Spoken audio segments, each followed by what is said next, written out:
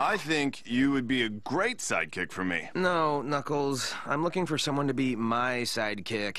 We'd have to change your name, though. I'm thinking Knuckles Jr.